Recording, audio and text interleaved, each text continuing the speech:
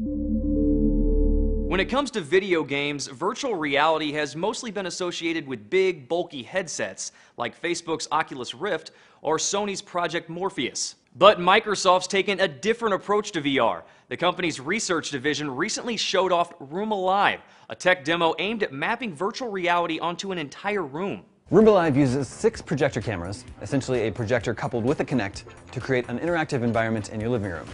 The ProCams simultaneously receive depth data from the room while projecting the play space over walls, furniture, and players. The tech takes advantage of Microsoft's Kinect camera, an Xbox peripheral which can track motion and measure the dimensions of a room. Using that data, researchers built a full room game of whack-a-mole and a top-down shooter, among other prototypes. Room Alive is the more advanced version of a previous tech demo, IllumiRoom, which Microsoft showed off at CES in 2013.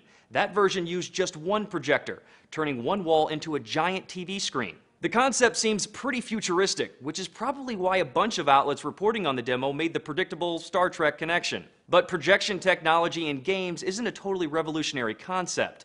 In 2011, Sony released this promotional video which made use of their own motion technology. As some Room Alive developers noted in a blog post, what's remarkable about their system is how easy it is to set up. The projection software auto-calibrates and is scalable, which makes Room Alive as easy to install as a light fixture. Still, don't expect Room Alive to make it into your living room anytime soon.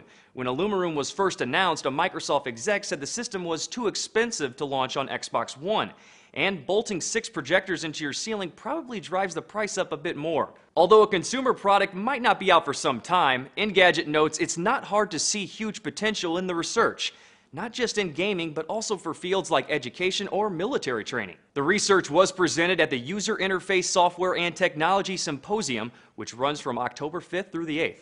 For Newsy, I'm Jay Struberg.